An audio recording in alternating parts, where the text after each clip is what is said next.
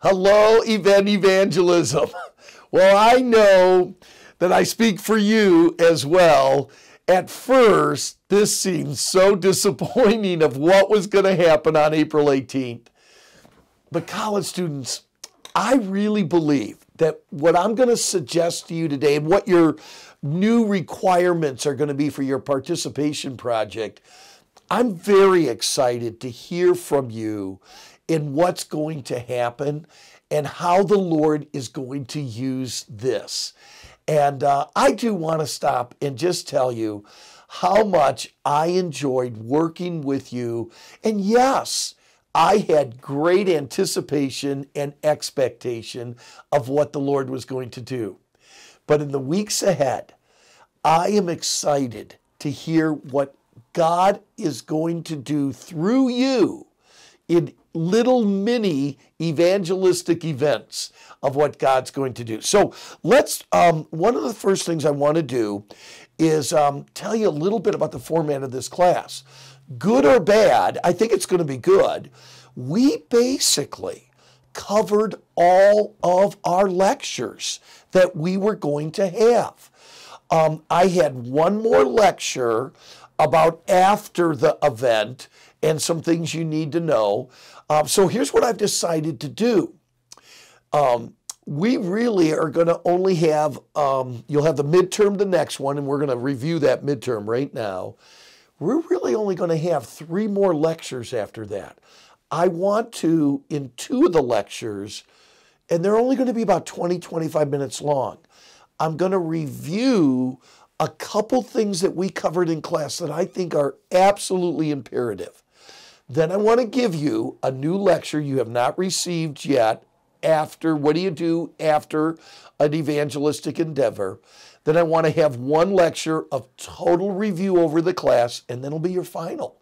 And that really will be it because what the plans were was going to be that you guys were going to be working now on that evangelistic event. However, that is what's going to happen with your participation project. If you happen to have your syllabus, if you would take your syllabus and turn to the projects, you've already um, you've already turned in your um, your event planner project, and now would be your your participation project that is left. And I want to talk to you a little bit about this.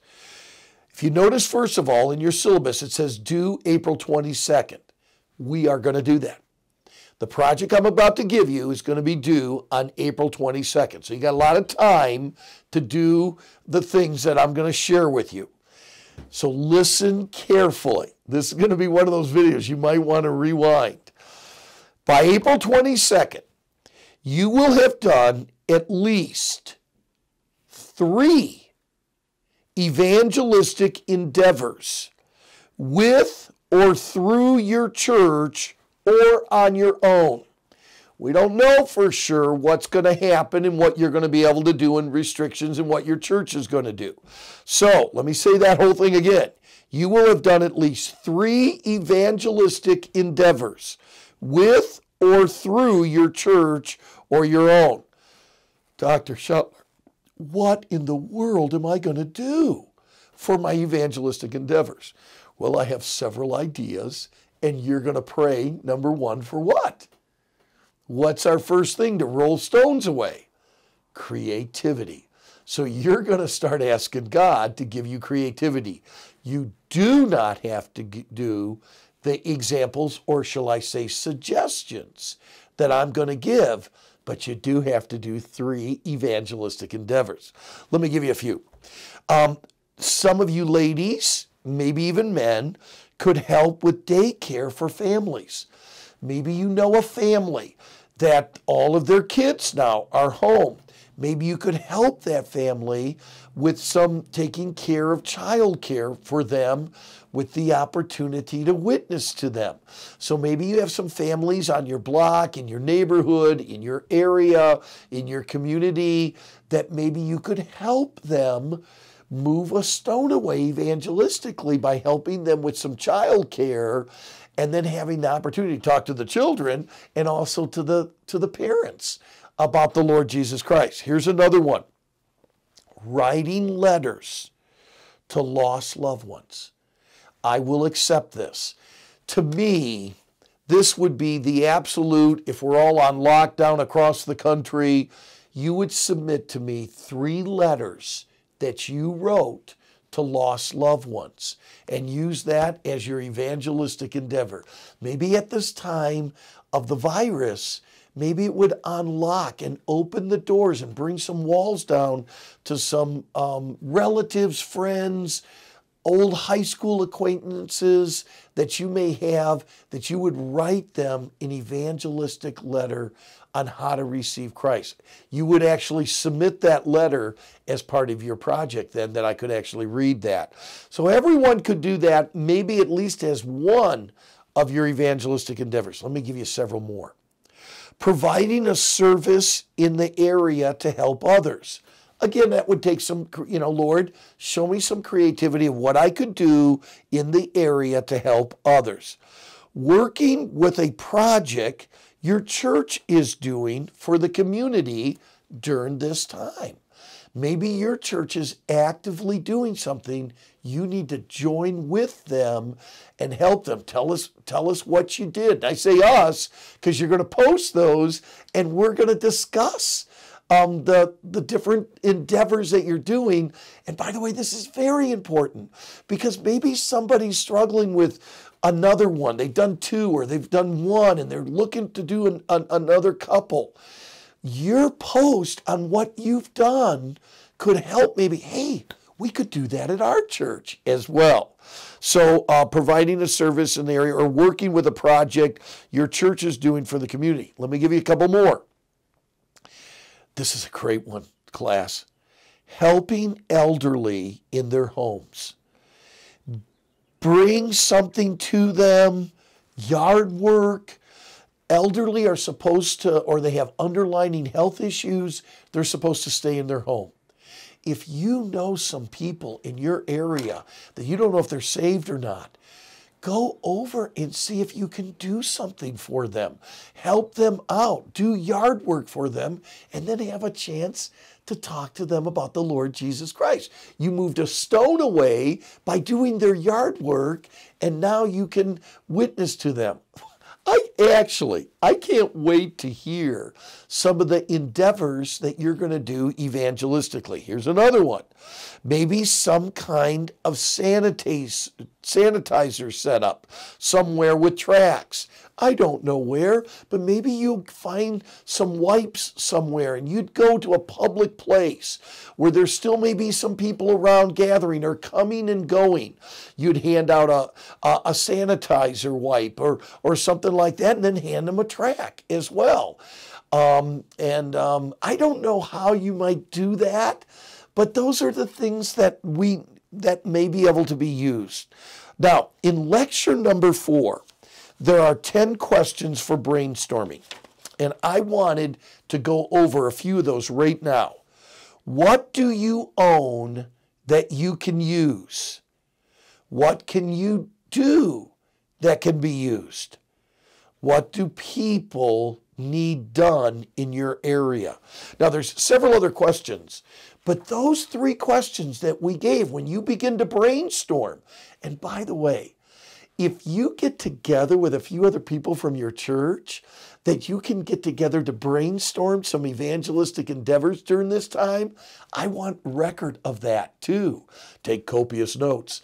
And I want it, I want it, I'd love to hear. I got together with three other singles at my church and we brainstormed on things that we could do together.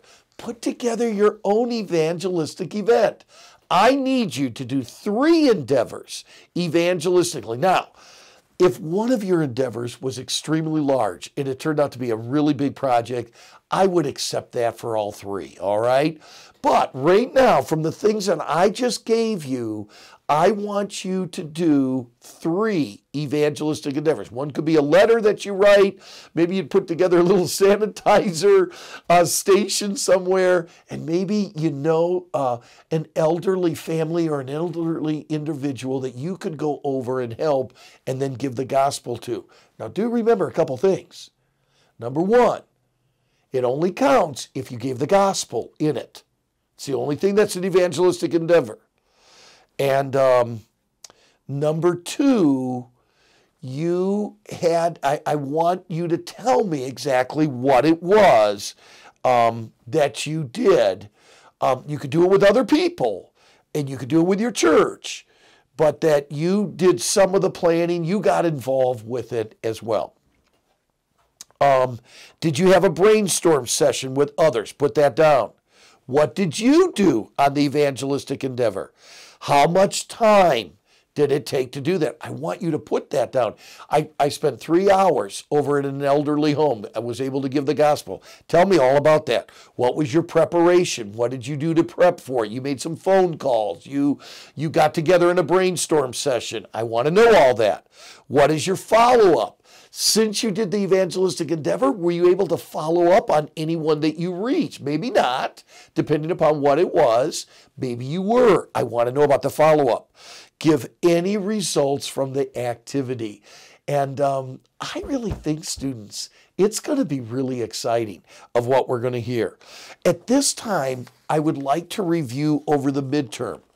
The next time you have this class, it will be your midterm. And um, so it'll just come up as your test.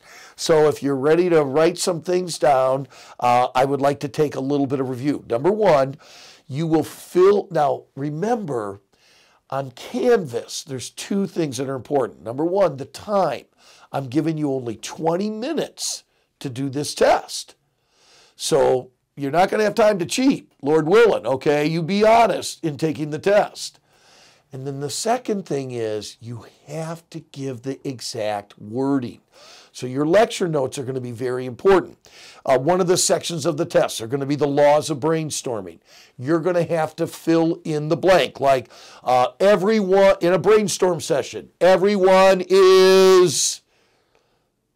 Well, I hope you just said equal because everyone's equal. What do you leave at the door? Your ego. Okay. So they got to be the exact words that we give, but it'll be fill in the blank on that. And then um, when things change, whoa. Have things changed with ours? Sure, I want you to go back through those notes and you're going to have to fill in blanks when things change. You've got to get the exact word. I'll give you some of the words, but the words that you put in the blank have to be exactly what was in our lecture notes. Principles of delegation, the same thing. Um, I'm going to give some of those principles. I'll give part of the phrase. You will fill in the blank on the other. Um, I gave you a little thing on task at our last meeting that we had um, on task. Things to accomplish by specifics I must keep soon task. Things to accomplish by specifics I must keep soon. Know that phrase. You're gonna have to fill those. You're gonna have to fill those blanks. I may give you the first letter of you know T uh, A S K S, but you're gonna have to know that. Rolling stones away know all. I don't care what order you put them in, but you need to know all the C's the creativity, the confidence, the confession, the, the character, uh, the consistency, the compassion. Uh, make sure that you know all of the all of the C's for that. There will be a true false uh, section in the test, and then um, now on the gospel part, I want you to know the four parts of the gospel, and this is very important um, because we got to have exact words. You remember this? The good news hyphen, and you got to put that hyphen in or it's wrong. God loves you. Okay, so we got the good news hyphen, God loves you. Then what do we got? The what? We got the bad news hyphen, your sin must be paid for. And you got to get those exact words. Your sin must be paid for. Okay, then we go back. More what? Good news. Hyphen, Jesus Christ paid for your sins. Jesus Christ paid for your sins. That's the more good news. Then finally is your what? Your responsibility, hyphen, by faith receive Christ. By faith receive Christ. So you've got to have those exact words. I know you're going to do good on that. I really wanted those four. Remember the five words too? Christ died for our sins know those five words. Okay, that's going to be very, very important. There's some true and false and some other things, but if you just did and studied over what I just gave, you'll do great on the midterm. So that'll be your next class. I can't wait to start hearing from you, your post, and then we are also supposed to discuss that. I'll explain that a little bit later in another lecture. I don't want to overload you with too much instruction right now. But your next time will be your midterm. And then after that, we're going to have two lectures on review, some things I really want to go back over uh, that we covered. In those times, I will also talk to you a little bit about how you post your discussion on um, other people's uh, endeavors and what they're doing. Get going on those right away and uh, posting what you're going to do for your evangelistic endeavor and give us a report on it. I'm very excited about that, students. I know God is going to use you mightily, and I know the Lord did not have us to go to Rosamond, but He does have us to reach the lost for Christ. I'm praying for you, and trust me, I really do miss you guys.